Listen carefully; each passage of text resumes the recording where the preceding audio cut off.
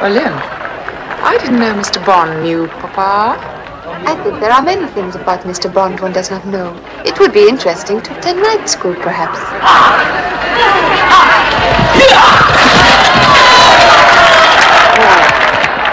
Papa is up to something, I'm sure of it.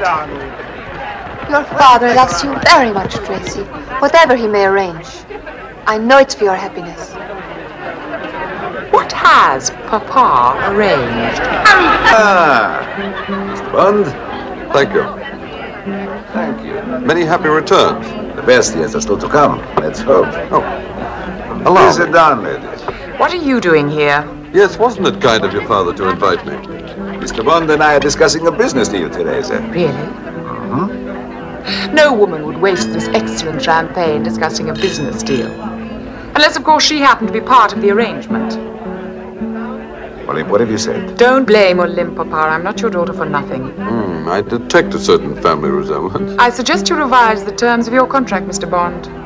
You'll find your liability far too expensive. Ah, now there you're mistaken. Papa, Yes? Mr. Bond wants some information. I wonder what you're talking about. You always taught me that a good host supplies his guests' needs, Uh-huh.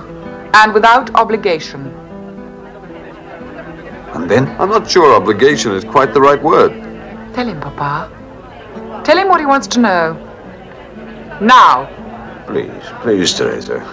There's only a possibility. Nothing definite. Tell him, Papa, or you'll never see me again.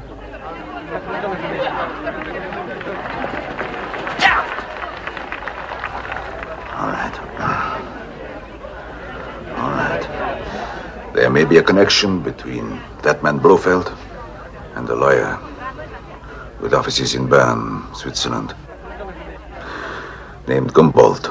Gumbo. Uh, Switzerland. Yes, Gumbold. So.